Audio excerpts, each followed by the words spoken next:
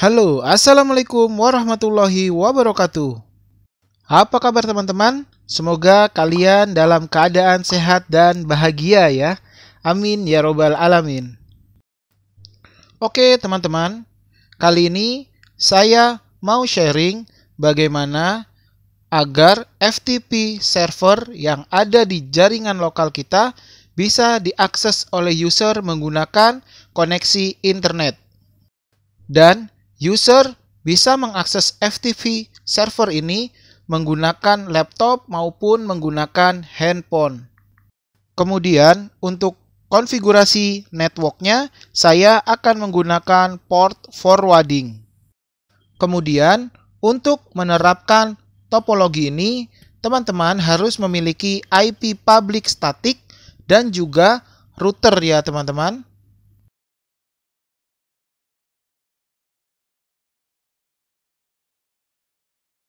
Untuk OS servernya, saya menggunakan Windows Server 2019. Untuk langkah yang pertama, kita akan melakukan konfigurasi FTP server. Untuk aplikasi yang saya gunakan yaitu Internet Information Service. Silakan kalian buka Internet Information Service. Jika kalian belum tahu cara installnya, kalian bisa lihat di video saya berikut ini. Untuk membuat FTP server, kalian klik Site, lalu kalian klik kanan, dan kalian pilih Add FTP Site. Untuk FTP Site Name, silakan kalian beri nama. Contoh di sini saya akan beri nama FTP Server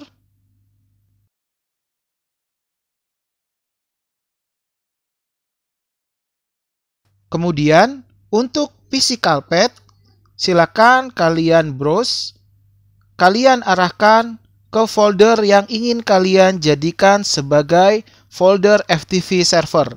Di sini saya ada di drive D dan di folder FTP. Setelah itu, kalian klik OK. Selanjutnya, kalian bisa klik Next dan untuk IP address silakan kalian masukkan IP address server FTP.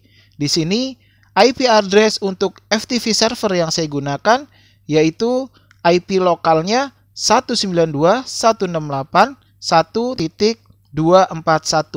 Kemudian untuk SSL kalian pilih yang no SSL. Selanjutnya kalian klik next. Kemudian untuk authentication kalian pilih yang basic Lalu kalian ganti ke all user.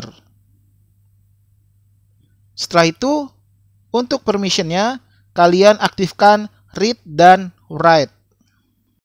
Jika konfigurasinya sudah selesai, kalian klik finish. Dan ini adalah FTP site yang sudah kita buat ya teman-teman.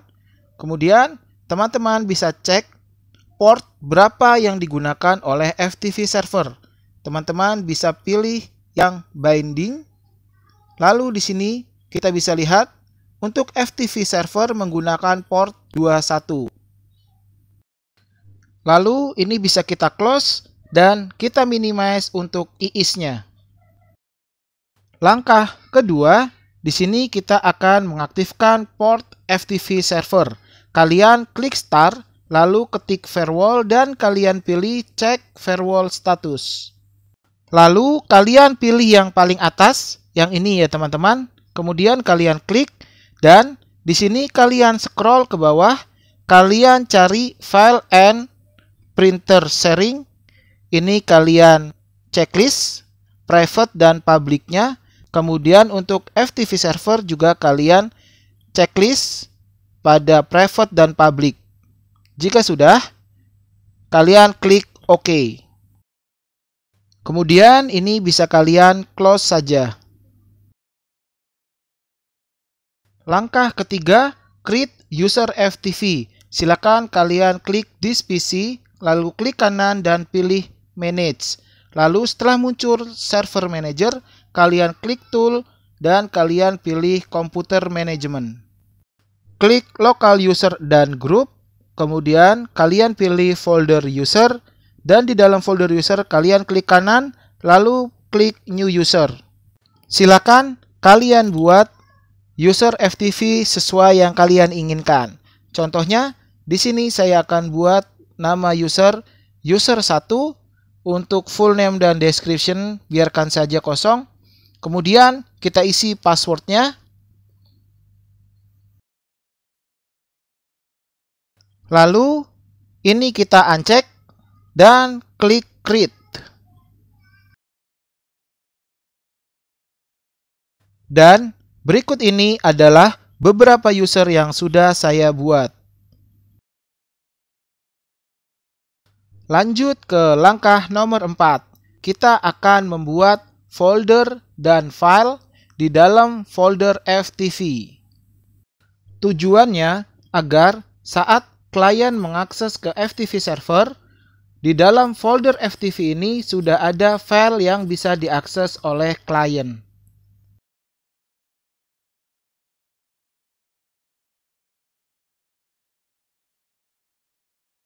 Oke teman-teman, ini adalah folder yang sudah saya buat. Dan di masing-masing folder ini ada file yang sudah saya buat juga. Selanjutnya kita masuk ke langkah nomor 5. Pada tahap ini kita akan melakukan konfigurasi port forwarding. Saya akan buka browser dan saya masukkan IP address dari router yang saya gunakan. Di sini saya menggunakan router Asus RT AC68U. Oke, ini kita masukkan username-nya, admin, dan kita masukkan passwordnya. Setelah itu, kita klik sign in. Kemudian, klik pada menu One. Setelah itu, kita pilih virtual server atau port forwarding. Dan untuk basic configure, di sini kalian enable pada port forwarding, kalian pilih yes. Lalu untuk server list, kalian pilih FTP. Lalu kalian scroll ke bawah, kalian isi seperti ini. Contohnya untuk service name, di sini saya beri nama FTP server.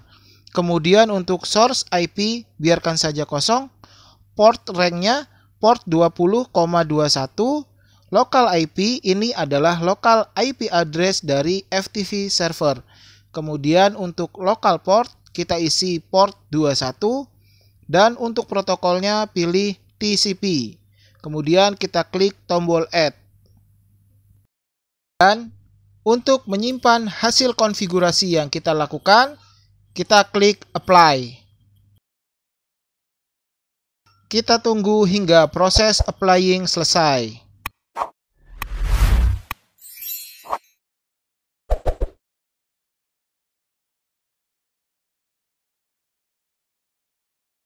Selanjutnya, kita ke langkah nomor 6.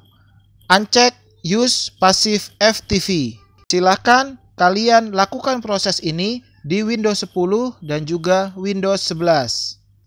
Klik Start, lalu kalian ketik Internet Option. Dan silakan kalian buka Internet Option tersebut. Setelah itu kalian klik Advance dan kalian bisa scroll ke bawah Lalu kalian cari use passive FTP. Jika sudah ketemu, kalian uncheck pada use passive FTP. Setelah itu kalian klik apply dan klik OK. Dan terakhir kalian restart terlebih dahulu Windows 10 dan Windows 11 kalian. Selanjutnya ke langkah nomor 7.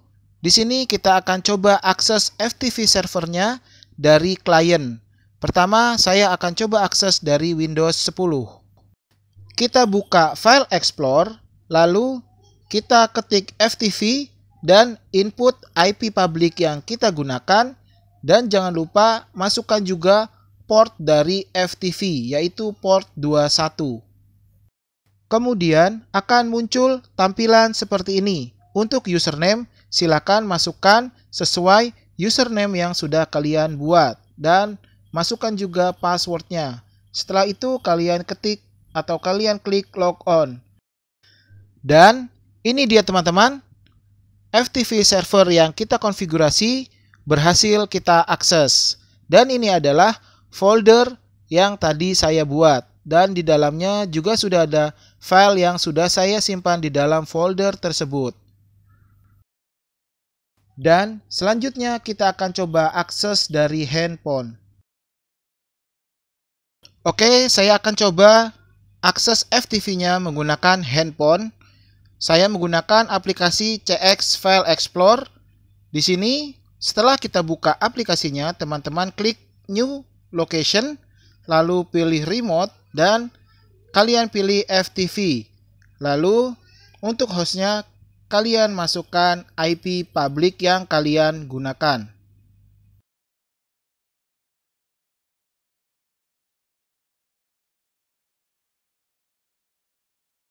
Lalu untuk portnya port 21, kemudian kalian pilih FTV dan untuk username silakan kalian masukkan sesuai username yang sudah kalian buat dan juga kalian input passwordnya. Setelah itu, kalian klik more dan untuk modenya kalian pilih yang mode aktif. Setelah itu, klik OK. Oke, berhasil ya teman-teman. FTV servernya berhasil kita akses dari handphone. Oke teman-teman, sekian sharing dari saya. Semoga bermanfaat untuk kalian. Dan mohon supportnya untuk like, comment, and subscribe agar channel ini bisa terus berkembang. Terima kasih.